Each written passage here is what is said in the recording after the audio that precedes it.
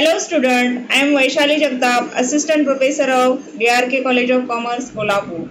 In Department of Economics, we will learn a new topic, Cooperative Administration and Audit.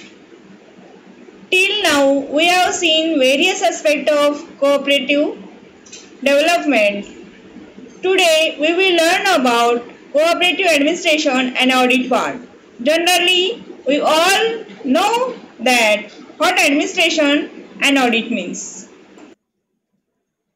In general, administration means the proper management of all resources and utilities and do efficient functioning in organization.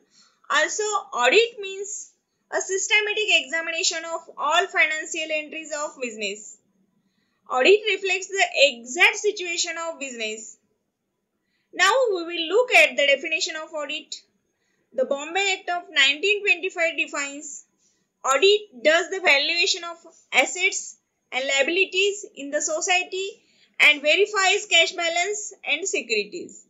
Cooperative audit is an application of general principle of auditing the accounts of cooperative society.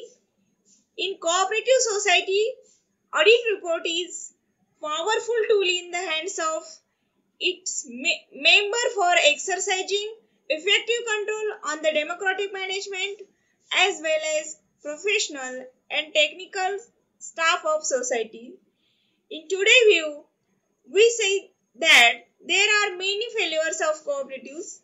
The main reason behind the measure of cooperatives is irregularities in doing the regular audits.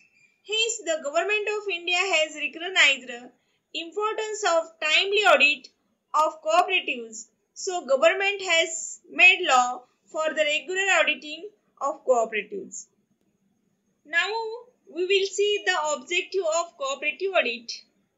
First is to check the profit and loss account and the balance sheet are properly done and the whether represent a correct financial feature.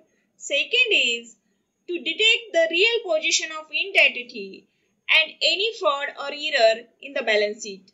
Third is it ascertains whether the society carries business really on the cooperative lines.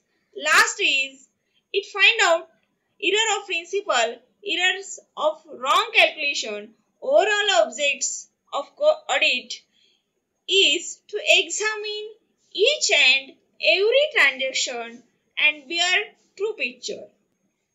Now we will move forward to look at the types of audit.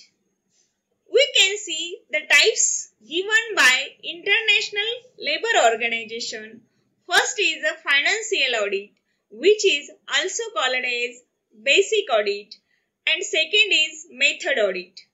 In the first types, there is general examination of transaction and auditor look at the truthfulness of the transactions. It doesn't examine the transaction thoroughly. Second type is method audit. This type of audit examine the procedural and administrative arrangements it is very much useful to check complicated activities like consumer service, industrial production, manpower utilization and other aspects. Now we will look at the generalized types of audit. External audit performance audit in accordance with the laws and rules specified. Internal audit is performed to improve the organization. And also statutory audit is an examination of entities. Financial record in accordance with the requirement of government agency. Here the financial reports and financial report process. Also we all know about the tax audit where tax officer access the tax return. Last is special audit which is done to audit same specific area in the business. Now we will move on to our next slide. We will look at the advantage of audit First is it helps to keep the accounts regular and up to date and prevents fraud. Second is it helps to defect, correct to state of affairs of the cooperative society. Third is it ensures the institutions to raise loans on the authenticity of accounts. Fourth is efficient audit proves an effective safeguard to depositors, the creditors, publishing the cooperative movement, then to place it on sound footing. One should know that defective auditing actually records the failures of cooperatives. Thank you for watching the video. We will meet again with the new topic. I request all of you to stay home and stay safe. Thank you again.